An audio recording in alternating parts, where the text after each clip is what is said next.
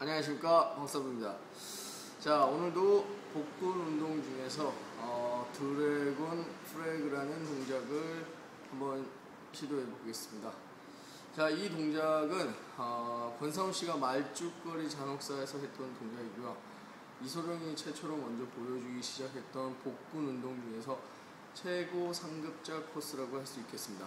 그러니까 어, 여러분들이 보시고 아, 본인의 복근 강도라든가 복근의 힘을 측정하기 위한 것이니까 한 번쯤 도전해 보십사 하고 시도해 보도록 하겠습니다. 자, 따라오십시오. 네, 형 벤치에 이렇게 앉겠습니다. 그리고 다리를 어깨 높이에 맞춰서 눈높이로 고정을 시키신 다음에 손의 위치는 귀, 귀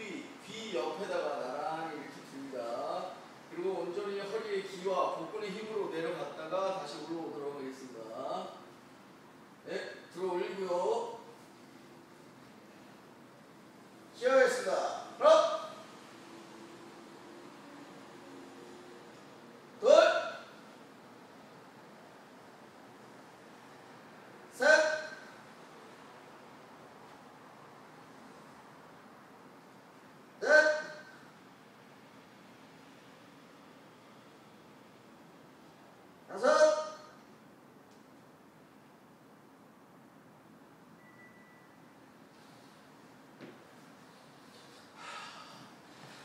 힘듭니다.